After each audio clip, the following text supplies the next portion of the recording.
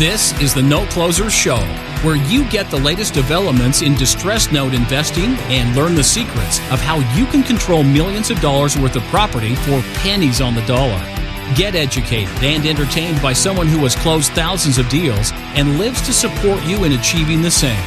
Now, here's your host, CEO of We Close Notes, Scott Carson. Good morning, good afternoon, good evening, everybody. Welcome to the Note Closer Show. I'm your host, Scott Carson. Excited to have you on today, tomorrow, tonight, whenever you're watching this live or listening to it live on iTunes. Uh, it is episode 153. Today is Friday in the office, so we like to have Friday called Funding Fridays, right, everybody? Yes. We like to hear the sound of money coming in and making money. All right. So today, what we wanted to do, instead of having a guest on, we wanted to basically spend today, today's episode, kind of breaking down a deal that we just got reinstated. And I thought we would go through it from start to finish for everybody and open up to questions. So while I'm going through some stuff here and talking, uh, Greg, Nicole, make sure you guys are, are following along for, as we have any questions that pop up. So, um, for those that don't know, my business model is to buy defaulted debt, first lien positions, and uh, work to get stuff reinstated, work to keep the borrowers in the property if at all possible. Now, that doesn't mean I overpay for the assets because I also keep in mind I'm probably going to have to foreclose half the time, right? We got some deadbeat borrowers that tell us, no, I'm not going to pay my mortgage, right? when we send letters or make have the servicers make phone calls, they're they're they're, they're hearing this. That's blah blah blah, right? Mm-hmm. Kind of like a chart button. Yes, I have my buttons this morning. I'm excited to be entertaining this morning. But anyway, so we buy defaulted debt in a regular basis. Been buying since 2007. Uh, closed on thousands of transactions, bought I think almost over a billion dollars in debt. Um, one of the great things though is if you have a solid business model, solid plan, you can often, and as long as you work your plan that makes sense with what's going on, you can really clean house in a great way financially and monetarily speaking to really have some great cash flow, some great deals. So I like to go where the market gives me the most amount of deals. Initially, when I started, it was a lot of commercial notes, especially apartment loans. It was also a lot of low balance, ugly, ugly subprime loan stuff that we bought. As that has evolved over the last few years, we've gone more okay. Let's go residential side is commercial uh, tightened up some. Uh, also, as markets like California, Arizona, and the West Coast got more expensive, I transitioned from there to more so Florida, South Carolina. And as those markets have increased in value and pricing over the last few years, that's made me evolve and kind of transition into more, as I call it, college football territory. And what I mean by that, buying a lot of the assets recently have come from the Big Ten Southeast Conference parts of the United States. So those that aren't football fans or, or college fans, what's the Big Ten include? Well, that's like Pennsylvania, Minnesota, Michigan, Ohio, Indiana, Illinois, um, those kind of areas. And then you also talk about the Southeast Conference. That's like Missouri, um, rolling into uh, Tennessee, the Carolinas, um, a lot of those areas through the Rust Belt aspect of things. So we see a lot of those assets, and we've actually always seen a lot of assets in those areas. But those markets have started to come back over the last couple years strong. And as more note investors have kind of started coming into the picture, I still believe we only have really truly 5,000 true note investors out there that are actually buying stuff on a regular basis. But we do see more, as I like to call them, REO refugees, people that can't buy properties at the foreclosure auction or people that aren't getting any leads to their thousands of postcards a month. They're starting to look for better deals and better pricing because all the fix and flip shows and all of AMC TV and HGTV have a lot of people thinking they can be weekend warriors and, and buy property or they can buy a foreclosure or buy uh, an ugly property and fix it up. So they're overpaying for assets because they're thinking they're doing a great job and they're buying off of after repair value. Well, as no investors, we don't buy off after repair value because we're probably never going to get to the ARV aspect of things. Never going to get to putting repairs in properly. Hopefully, if our business model works out, being a note investor, to focus on cash flow. And so I've been looking at things now. Uh, what has sprung up specifically a lot in the last couple years, especially the last, I'd say more so the two, last 24 months, was a lot of contract for deeds. Now, contract for deeds are like a rent to own. I won't say like a lease option, but very similar to that, where the institution, the person owns the property. In, in this case, let's just say Harbour Portfolio. They're one of the well-known. They have thousands and thousands and thousands of these contract for deeds. At what they originally were, they were buying these large pools of low-value properties for literally most of them were less than ten grand. Buying them cheap, putting minimal work into them, and offering kind of technically a contract for deed. Not not right, really owner financing, but they were basically willing to carry the paper on these assets to and you know buyers to come and put the thousand two thousand dollars down. But the buyers wouldn't actually own the property until the note was paid off. That's why it's a contract for deed. So if the borrower didn't make a payment what happens? They get evicted. The bank or in this case Harbour doesn't have to go through a long foreclosure process. Now there are some states out there that require that hey if you've been in a property for a couple years or you've got more than 25% equity then you have to go through a foreclosure process. But that's okay because hey, if you've got equity behind your note and you're foreclosing, hey, you've got some uh, opportunity to make it up. But it also protects the borrower as well if they've done a good job as far as paying on time or staying in the property and fixing it up. Now, what we see, contract for deeds fall into kind of two categories. All right. They're either paying or they ain't paying. All right. Uh, if they're paying, great. You got somebody taking care of the property, keeping it up, doing some maintenance, paying taxes, paying insurance on the property. Those that aren't paying usually turn into pretty ugly properties pretty relatively quickly. Can we agree to that? Yeah. Um, I don't like vacant properties because then I do have to foreclose most of the time. Then I do have to put work in the property and I have to make sure the AC, the air conditioner doesn't grow legs and walk off. Mm-hmm.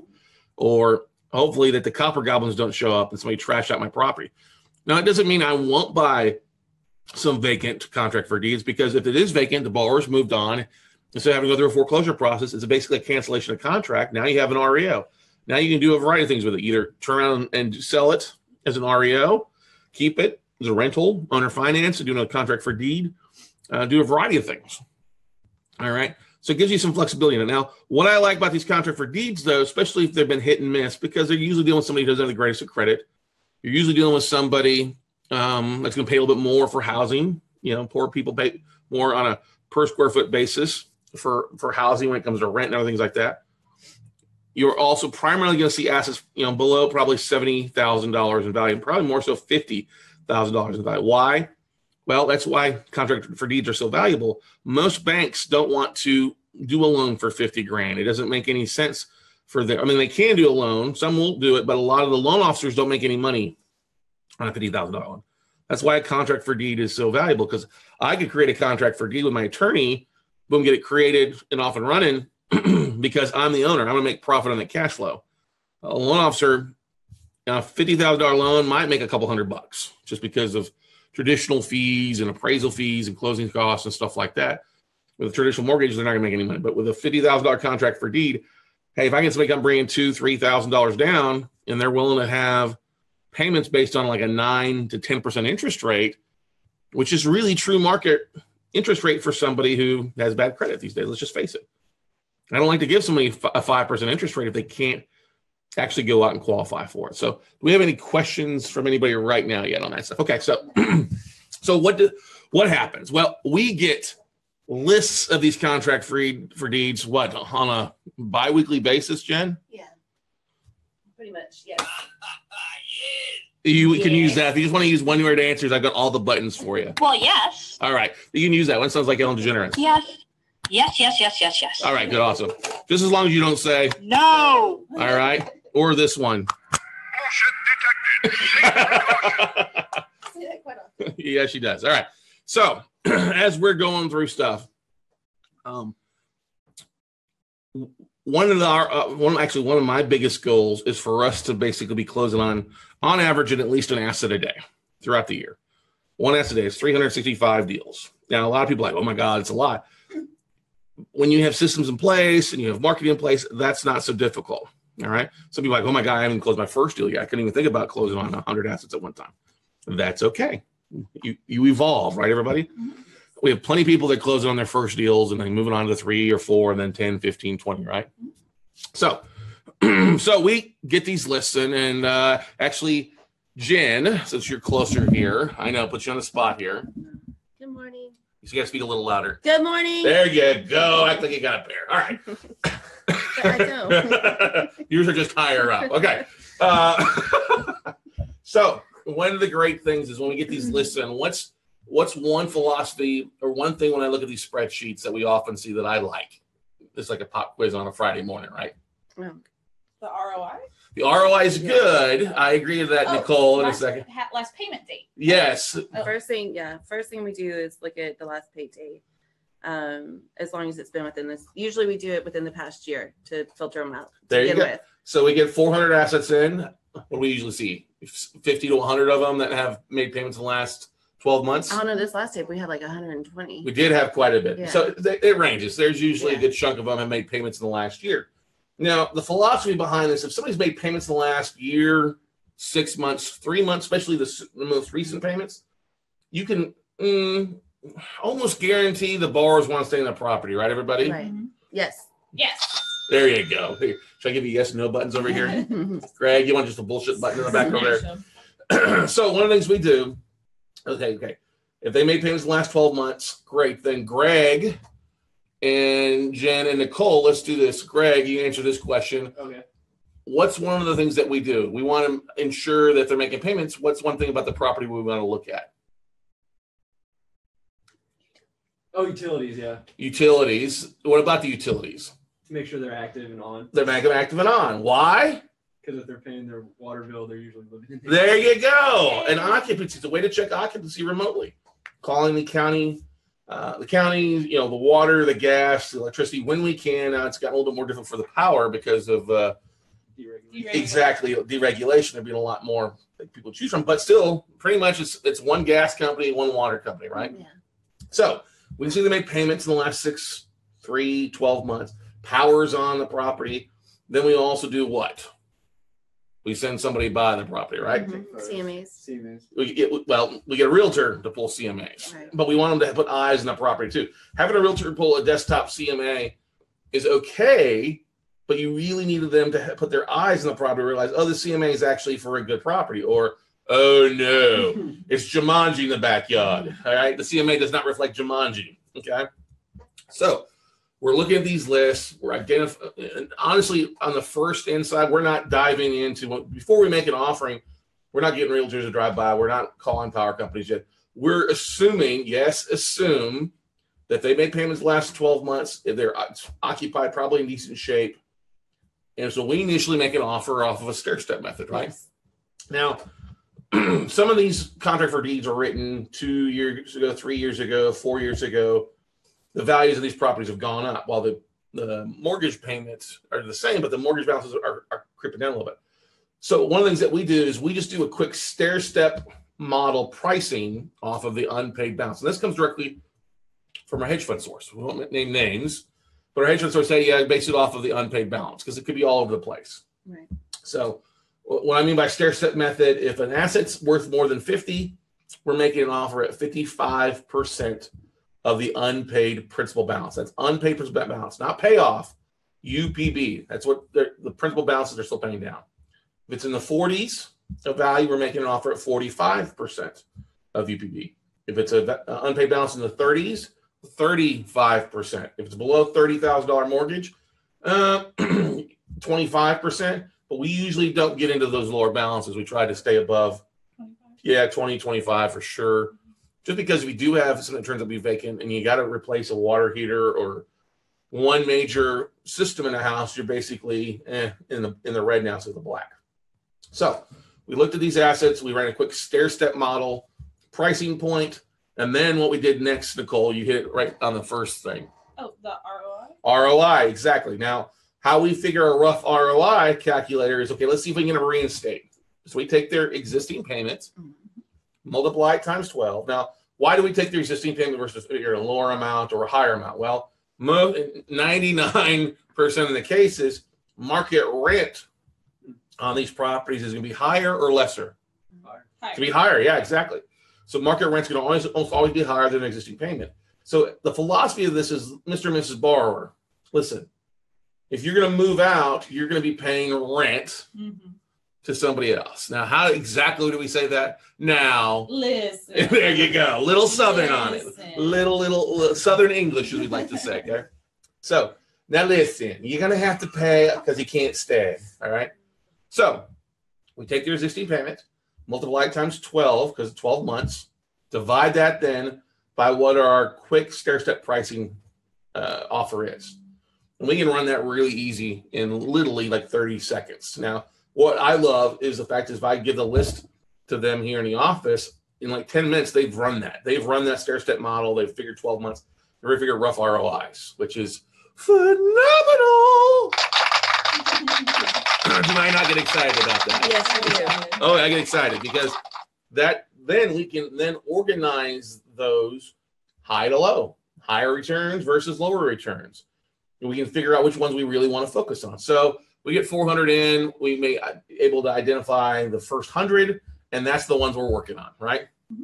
So, couple things. when we so then we submit an offer, right? Just a Yes. quick offer real fast. Let's get the ball rolling. On average, Jen, um, how many of them are we getting countered back or accepted? Usually all of them get countered back. Um, with maybe a handful accepted to begin with, Mhm. initial. Well, and that's, that's true because we submitted 100 last month and we had only 40 that got countered back. There were 60 that weren't available anymore.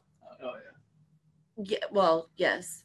That's what I was trying to get kind of a number aspect. of. So, Okay, yeah. so we submit offers on 100, roughly 50% come back that we hit- go to the next level. Right. Either 50, like we're not even close, you know, we, we sold it. Right. We whittle that number down. Yeah. Lower. Exactly. Yeah. Now, how do we whittle that number down, Greg? Well, based on ROI, um, the utilities, and then um, what the realtors their what they think the quick sale pricing is, and if they were occupied, they see lights on. Yeah. So that's then once we get that number back, we're saying, okay, we went from 100 to 40. That's when these peeps put on their superpowered capes and start getting realtors involved Mhm. and making phone calls. That's that's the longest part of the due diligence process, right? Everybody, It's like Yes. herding cats. it's like herding cats on crack. And, and pulling teeth. Pulling teeth isn't better. It's like herding a cat you just pulled its teeth on, right?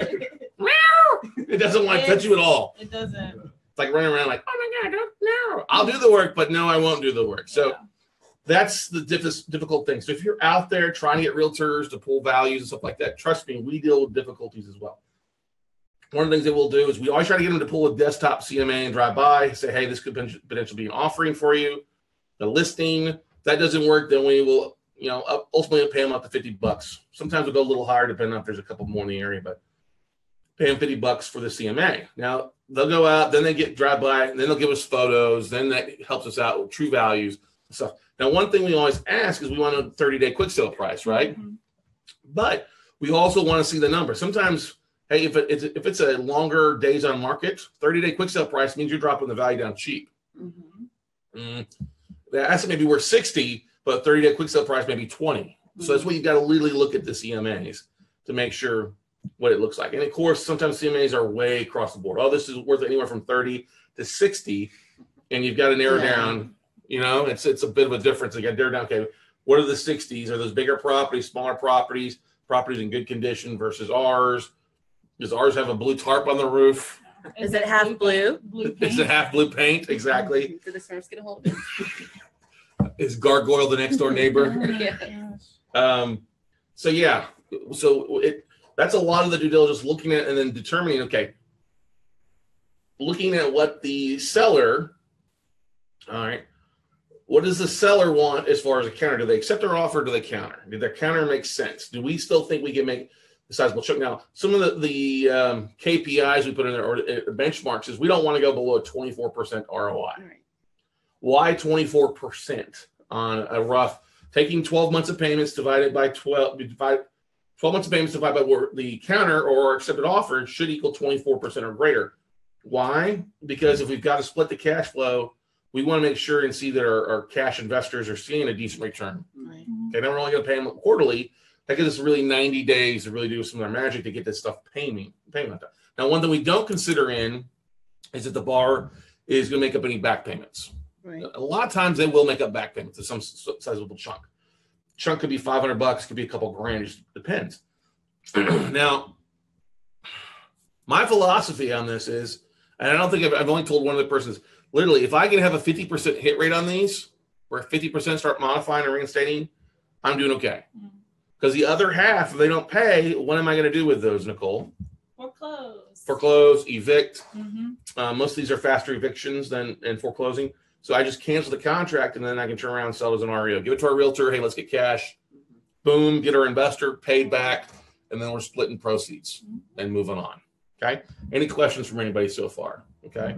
So one of the things that we like to do as well, which we were just doing a little bit this morning, is besides Greg, Nicole, Jennifer calling the city, talking to the lovely people in the water departments. They really are. They nice, are, though. they really are nice. In the water, you think about it, they're sitting in a cubicle all day, like, you know, trying to track down really Yeah. mean people that don't have payments. You they talk to one nice person, they're gonna tell you things. But they work from like seven to two, and then they're off on like Thursdays and Fridays. They work three days a week for five hours a day. I would be pretty damn happy too.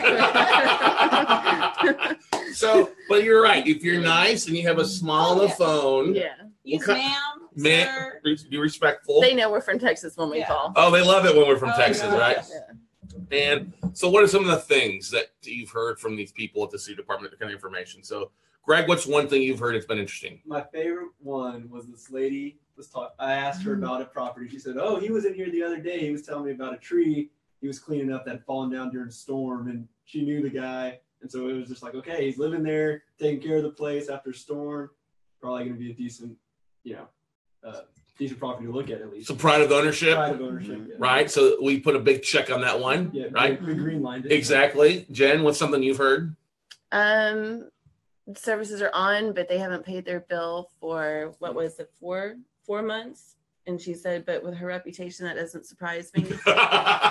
With So- your reputation, it doesn't surprise Yeah. me. What does that mean? I, I don't know, but She knew the. Pro- but yeah, no, she knew, and she said she was like, she'll probably pay it when it hits six months. oh, okay. So So that tells you somebody who's habitually late on their power, mm-hmm. but they may also be self-employed, peaks and valleys. they eventually pay it. Yeah. So. Okay. That's more like we call that kind of a scratch and dent Yeah, loan. but how do they go that long without paying their bill and still having services on? Well, some cities are very lenient about Oh, things. Well, that's why they're shitholes. Okay, tell us how you really feel. Okay, Nicole, what's one of the most interesting things you've heard from the city? Uh, probably the power where he was like, yeah, he's on, he, it's on, but you know, he's never really there, or I don't know. He they kind usually small towns that we call usually know the people, and so they, oh, he's never really there, or you know, all that jazz. and- Exactly. They. I mean, we've also had one where they. Oh yeah, they're on a payment plan for their utilities. Right. They're on time. Uh, I think one of you said one time that they got in a fight in the lobby or were arguing with their wife or Mhm. spouse Yeah. one yeah, time. yeah. yeah. Well, going back to Nicole's, um, they'll let you know like the services are on, but there's very limited usage, so they'll Mhm. let you know that they're not home often. So Yeah. they may be traveling, whatever the case may be. Maybe Um, working. Right. May not be. May, maybe an elderly individual where the power is at least on, but they're Right. it's it's it's not vacant, but Right. unoccupied is a better way to say it. Right. So we get a lot of information. Now, another thing that we do, due diligence wise, is what else do we do besides calling the city? Internet sleuthing, Internet sleuthing, aka Facebook stalking, Borrow research, borrower research before the right party contact. This is all this is things we're doing before we close. Okay. Now we have found some interesting things doing some internet sleuthing and being our own Sherlock Holmes Mhm. when it comes to things. Jen, what's an interesting thing you found with a borrower before?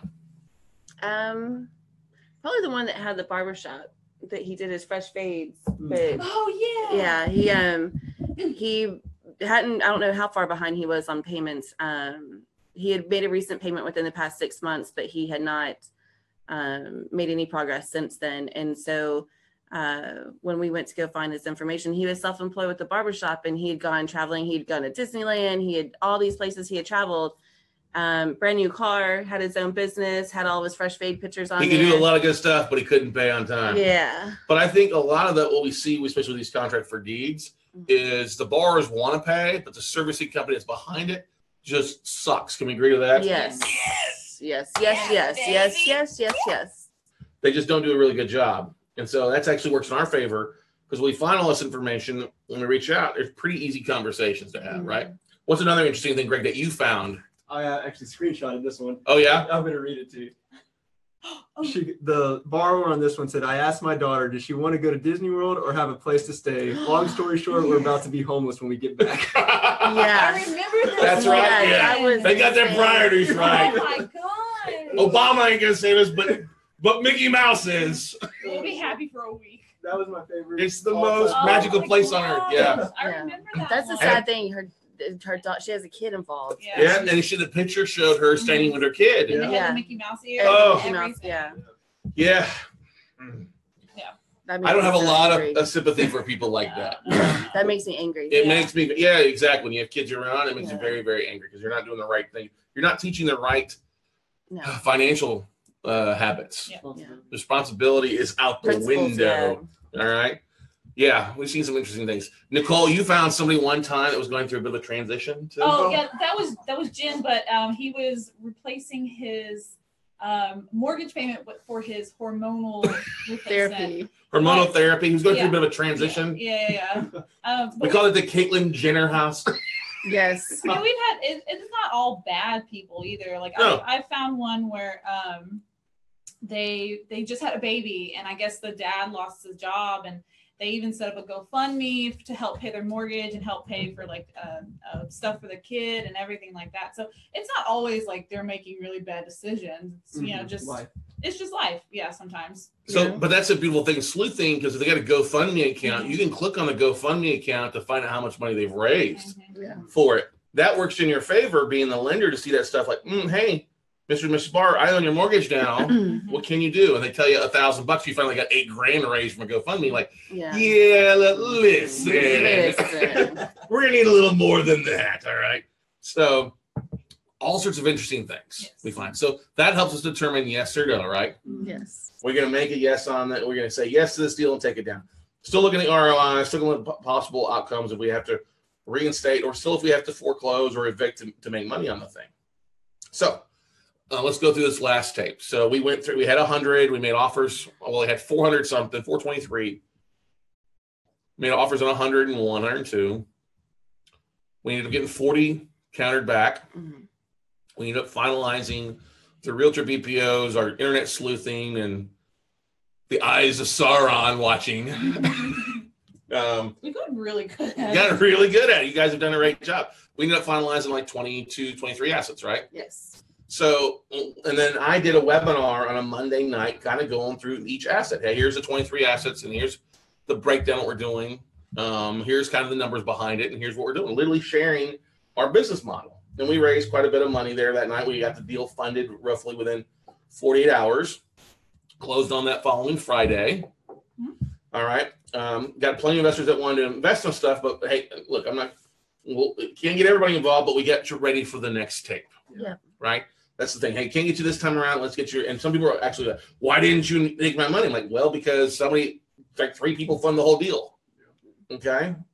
You know, the, and when they're funding, they're not, I'm not pooling money. Like if it's somebody's going to fund a hundred grand, they're going to get a hundred grand worth of assets as those, as their assets that they're, they're joint venture. They're not getting any uh, split of every asset. They're getting, oh, yeah, you get these 10, this person gets this 10, this five, and this five. I'm partnering on them all. Um, but they're funding that chunk and, and then we're working through those out. now, then we fund, and then the fun begins, right, everybody? Yes. Oh, yes. Now, of course, we always review collateral Once we get it. before we close. Make sure we have that. We're pulling out any reports.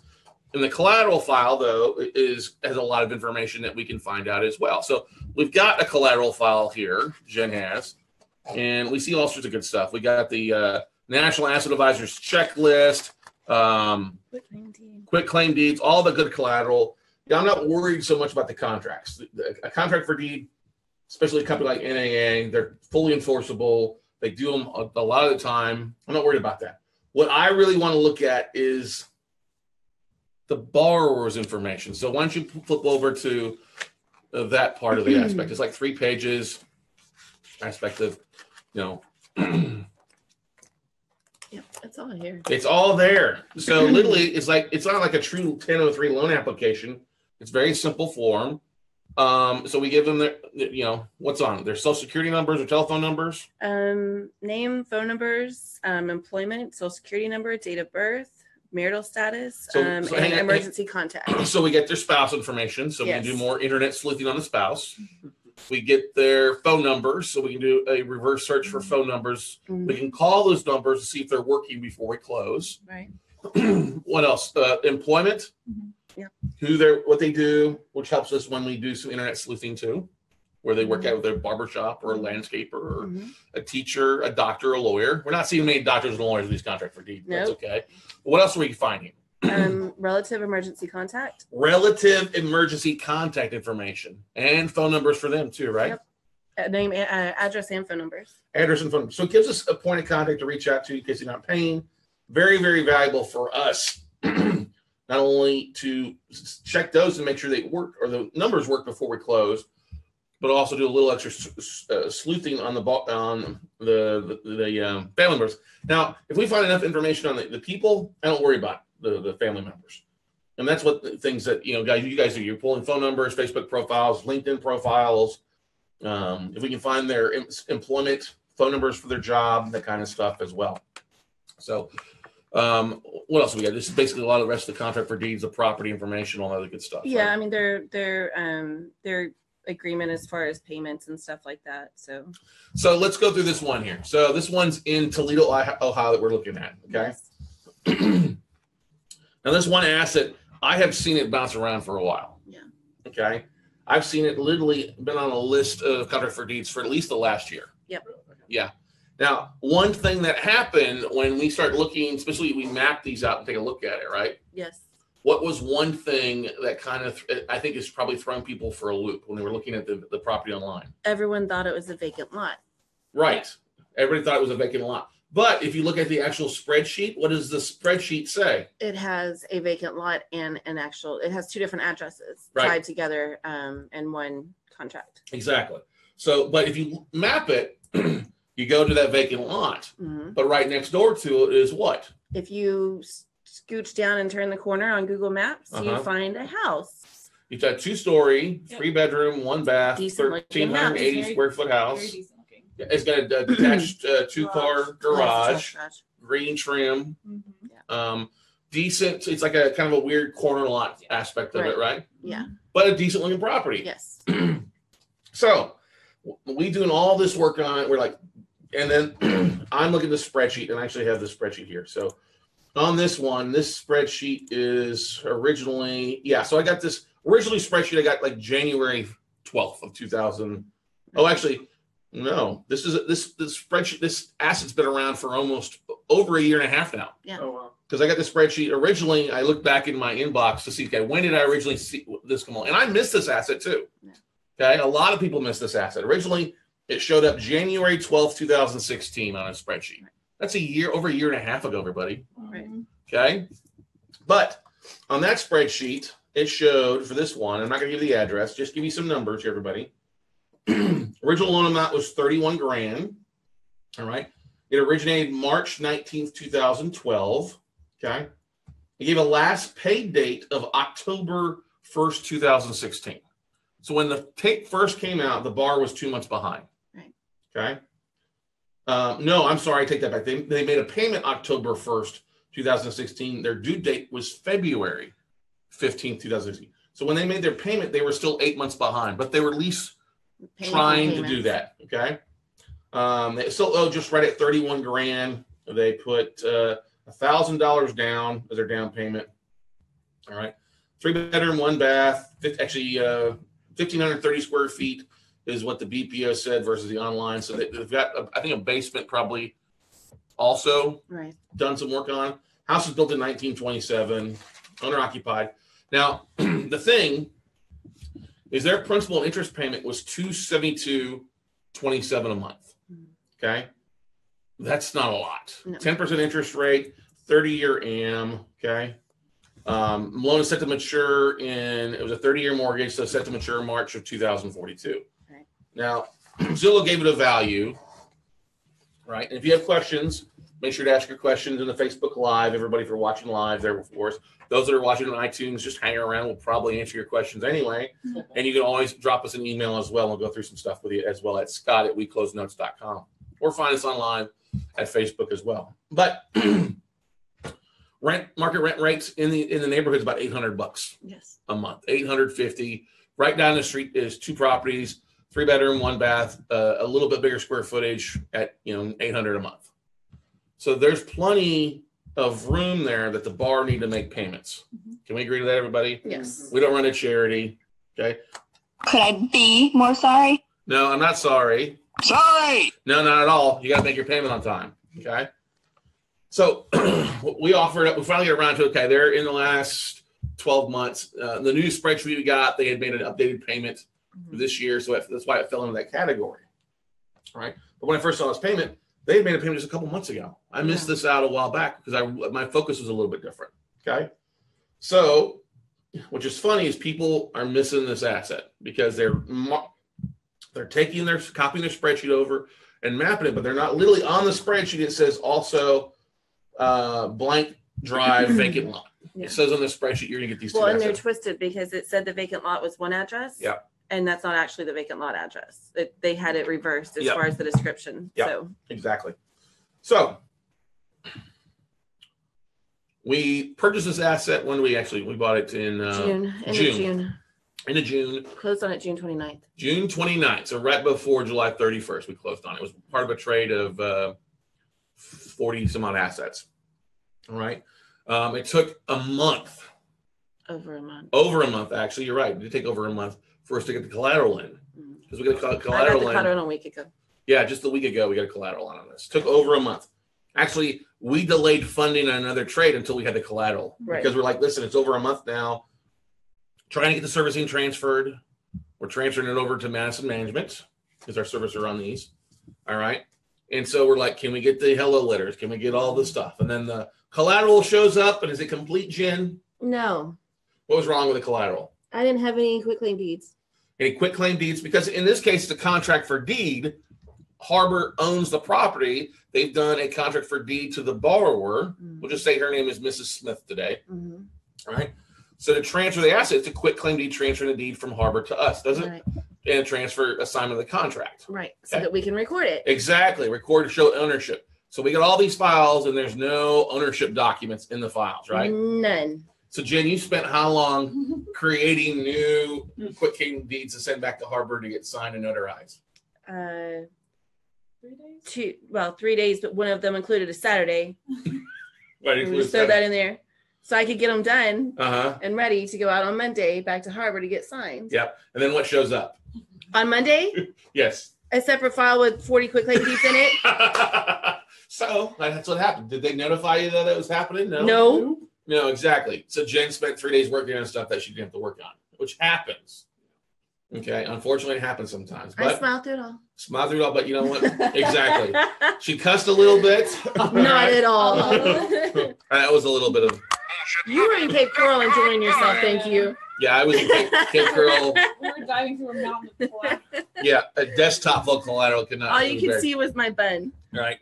Um, not her bum, her bun. Okay, that make it a little bit differently interesting image there. All right. So, but anyway, so finally we get the collateral corrected. Yes. All right, it's the servicing is transferred finally after 30 days. It, it was in the process, yes. It's in the process, and then what happened? Um, in the process, um, the borrower received a letter. So let's figure this out real fast, just so everybody knows. Because what happens when an asset is sold, the seller sends out a goodbye letter, Yes. And then they also send a hello letter Mhm. or goodbye letter to the servicing company, in this case, Madison Management, to say, okay, here's the letter. Is everything correct? Here's all the contact information. Is that accurate? Here's your problem. Here's your Yeah. problem. So they send out a goodbye letter. Hey, thanks for not paying us. Yeah. Now, now you cannot pay Inverse Ventures or Inverse Asset Right. Fund or these people. Okay. And it's also up to our servicer, Madison, in this case, to send a hello letter. Hi, thank you for not paying, but now you got to pay us, right? Yeah. But what happens? You got something that popped up. Um, the borrower reached out to us um, because they received their letter saying that their contract was was void and going to a new servicer. And so she freaked out a little bit. Um, and the old servicer gave them our contact information because Madison hadn't picked it up yet. And so the borrower called us Yeah. and said, I've made my payments. Um, I, I haven't made a payment for this month, but I have it ready. I was told not to pay it. Why is my contract canceled? Um, who are you? How can I pay you? And I want to stay in my house. Exactly. Now the thing is, she said she's got canceled payments from the last twelve months, right? Yes. So that means this is a note of a different color. Yes. It's a deal of a different color. It's no longer a non-performing note. It's a performing note, really, Yes. that we got at a non-performing price. Right. It's an error on the seller's part because they didn't do their due diligence on their files. Right. We come out looking really good because now we've got an asset.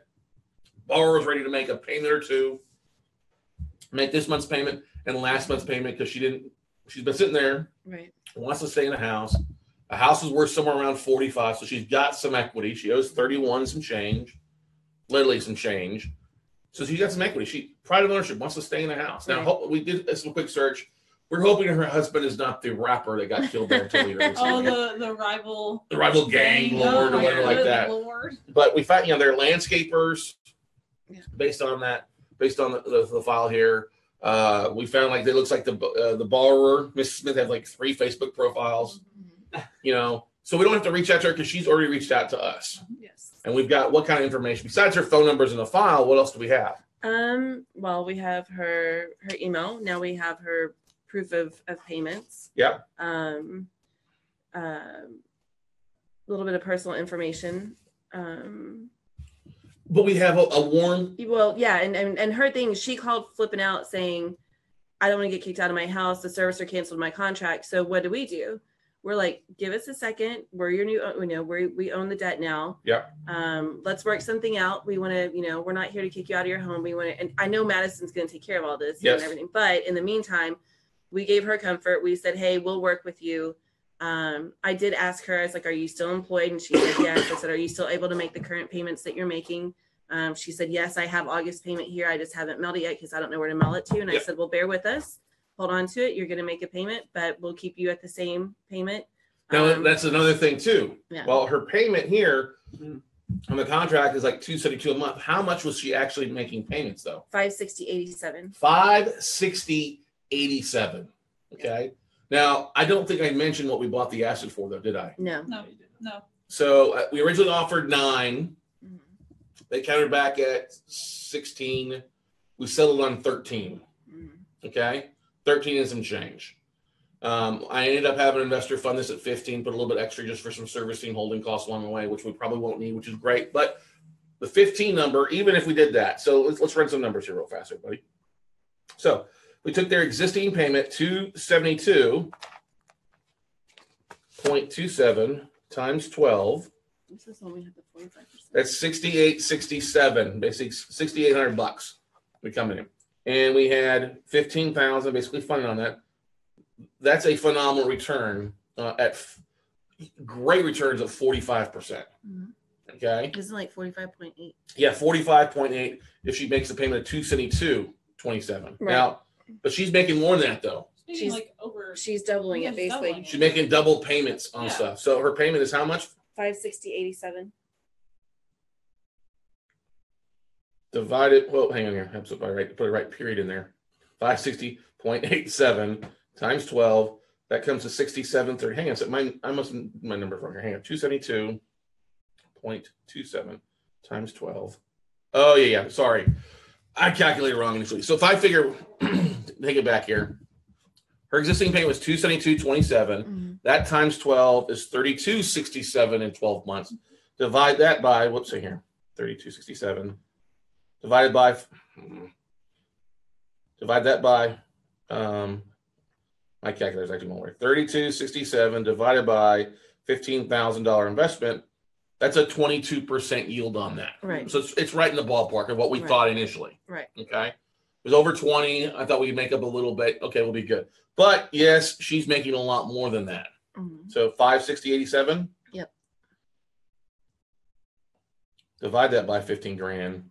Yeah, it's about a 45% yield with her making the payments on time. So instead of a 22% return, we got 45%. Yeah, exactly. Phenomenal deal. Yes.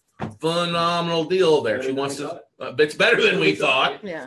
But that's one of the things that we, we maybe rolled the dice a little bit and said, okay, it's occupied. They want to stay. Looks like a decent property. Let's we got some information. Let's go with it. And it's turned out to be valuable, right, everybody? Now, let's talk about some things. If she's making payments on time right now, mm-hmm. and she's done it for more than 12 months, what can we do? This is a test for you guys. You know, you hear me talk about this all the time. We could resell it as a performing. Say that louder, Greg. We could resell it as a performing. note. We could turn it around and resell it as a reperforming note. Now, a 45% yield's pretty damn good. Yeah, we don't want to do that. Pretty good, right? So, but let's look through this. So she, so she owes 31 grand. Oops, hang on here. So 31,000 is what she owes. Now, if somebody wanted to make a 12% return on their money, that means we'd have to pay him 37.20 a year and a 31 grand. So we could divide that by 12 months, basically 310 a month. Right. So as long as she keeps making her payments or extra payments, we could get somebody to bring in their 31 grand, cash out our investors, give them a good return, 7,500, basically give them, we got 15 grand to split.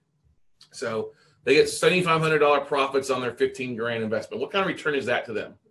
It's a 50% return. But if we did that in 90 days, how do you annualize that? Mhm. A lot, right? I like it a lot. A lot. Now, get me wrong. Yes, five hundred dollars a month or seventy five hundred bucks. You're not going to get rich off of that. Not going to get rich off that. But it's a great way to show some great returns and add some chunks back. Now, if your IRA only had twenty grand in it, now you got twenty seven grand in it. Yeah. Now you got thirty grand or something like that going for, especially doing it more so. And we closed on forty of these. Okay. All within 60 days of closing, too. right. Yeah. So that's the beautiful thing about this is our goal. Now, if we say still though, let's say we have somebody else that doesn't pay. Mhm. Okay, the other deal we got to evict. Oh, well, we're still, still looking if we got 45% on one deal and 0% on another one. What's that come to? Still 22.5% Right. If you blend it across the place. So, we have any questions for anybody? We have a lot of people watching. Okay, we got quite a few people watching. That's great. So, that's what I'm trying to get at. This deal not only gives us some room on another one, it may possibly give us room on a second one.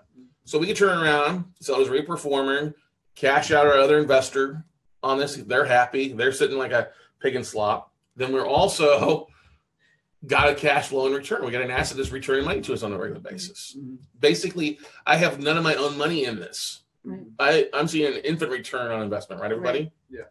So that's the beautiful thing on this. And we've got a borrower that's happy. We have a good rapport with her. She, she already called me back and um and was giving me information as far as um Speak louder. um, we we have a good reputation with her as well now um, because she's already called back saying that she contacted NAA um, regarding her payment to let them know that she wasn't going to be mailing the payment to them. Um, she said that she would wait and get the information from me as far as where to mail the payment to. So I've already had about two or three conversations with her since the initial contact. And you sent over the payment instructions straight off Yeah. the Madison's website. So Yeah. now we've got money coming in extra. Right. She's starting to make a payment. So maybe we don't see 12 months of payments. We see 13 or 14 months of payments Right. for 12 months because she makes a per extra payment and a half. Right. But we also have that personal touch where if she does run into an issue, I have a feeling that we would have that communication to where we can work out and negotiate as we need to. Exactly. Exactly. So this is what I love. Do I dance a little jig when stuff like this happens in the office? Uh, yes. I get very excited for Bust- stuff like that. I Bust bust down that door. I bust down and bust a move. Bust Or- down the door. oh, bust down the door. Yeah, yeah. I agree totally. It's like the Oh. Kool Aid man. He wants to. Oh, Oh yeah. Oh yeah. Exactly. Exactly. So that's the, the the beautiful thing about a lot of these deals everybody is a lot of people will do a little bit of due diligence and they make some offers but then they shy away and they get scared. They don't send a realtor out. They don't make a, a few phone calls. They suffer from paralysis analysis okay? They aren't taking an extra step to double check their they're making a bid and then it comes time for them to accept a counter, you know, counter counter, they don't do any due diligence after they make their bids and they're scared. They cancel the bid, so they miss out on deals like this. And I think this bid deal's probably been bid on three or four times from people and canceled. Yes, I know it has. As a matter of fact, on a tape not too long ago, we had three people. We had Three people three bid on people bid on the same asset, and then they all ended up kicking. Actually, two of them retracted before we ever actually placed the bids from everyone, and then the other person ended up retracting after the counter came back. Well, I redlined this one too when it came through, and then we had the discussion. Yeah. So that's the thing. We looked at the, that nasty vacant lot. yeah. In our office alone, just from the time we got this tape to the time we actually closed on it, y'all tried to kill this thing like eight times. oh, it's a vacant lot. I was like, it's not a vacant lot.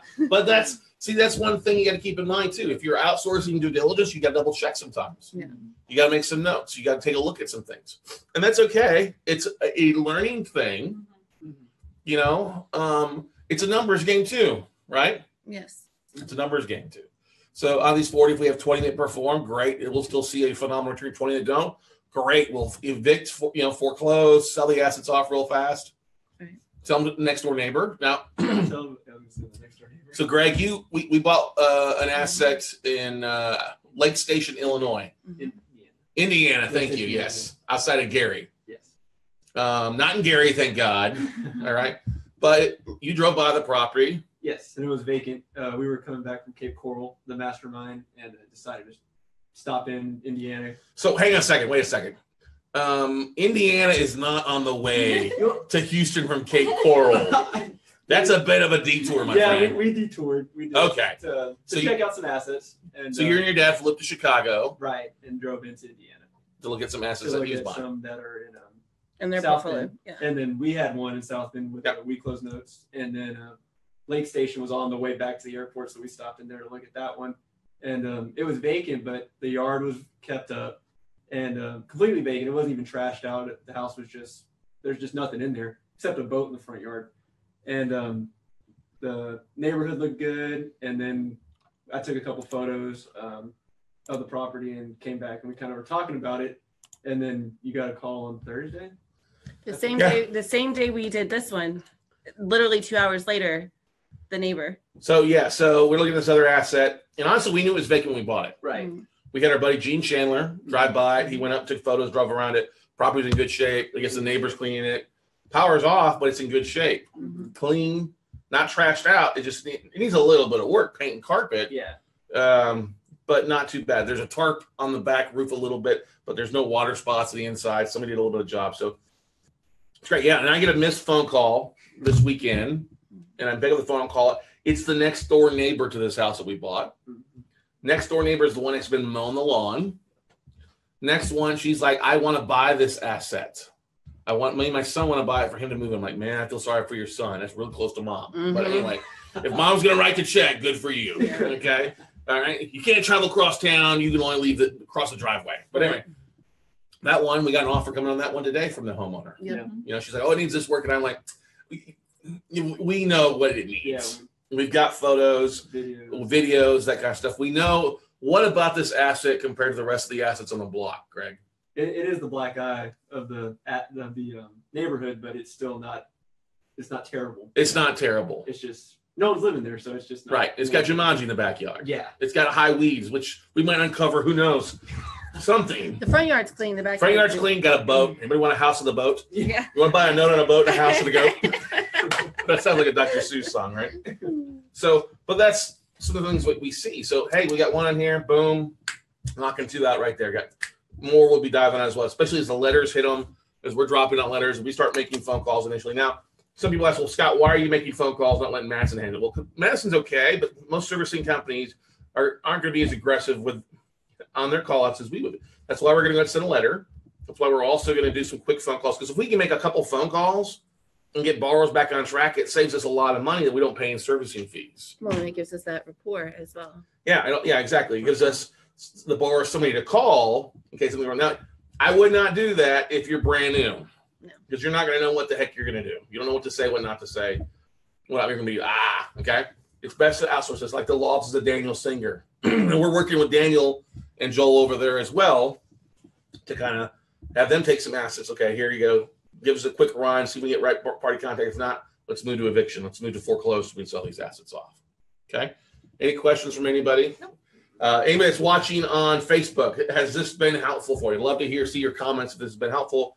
If you're uh, listening on iTunes, thank you for uh, for listening. Once again, we have these types of deals all the time uh, that we work through. Um, we're working through a couple tapes of performing stuff that we'll be doing a, uh, a draft over the next week or two on actually. Sweet. I got some stuff in yesterday we've been working through. So if you'd like to get on our buyers list, you can go to weclosenotes.com and up on what'll pop up is a little tab that says know. notes. It's at the very top. It'll be join mastermind, fast track. I think I think fast track, and I'll just say buy notes and just click on that one. Yeah, buy notes. That'll take you into a uh, sign up sheet, name, email, phone number, and then you'll be alerted of any assets that we have available or any drafts that we do highlighting assets that we have available for sale. So, or potential funding partnerships that we are doing on a regular basis for our own stuff. So, hopefully, this has been valuable. We're going to be focused on a deal pretty much at least once a week for the most part, unless we get too many guests on. But um, this is one thing that I think a lot of podcasts lack a lot of time consistent deal flow and sharing those deals. A lot of people get into talking about the business and talking and talking and talking. They don't actually share what they're doing in the business. And that's one thing. Hey, we're the note closers show. Yeah. We want to keep the closing part versus the note talking show, right? Mhm. That's what it's all about. Everybody closing deals, making it happen, getting some good returns, and then sharing our success along the way, sharing what we're doing on a daily, weekly, monthly basis with you to help you take more steps and be more efficient in your note business to help you close more notes. So I think we've got a good spot. I think it's been a pretty good show, everybody. Yeah. good. Good stuff today. Knowing your stuff, everybody. Um, that will wrap it up for the day. I got to give a big shout out to, uh, of course, our amazing staff in here. Yay! Doing a great job. Due diligence, our vendors who've helped us out along the way as well, and our sponsors. So, once again, uh, have a great day. Go make something happen, and uh, we'll see you all at the top, everybody.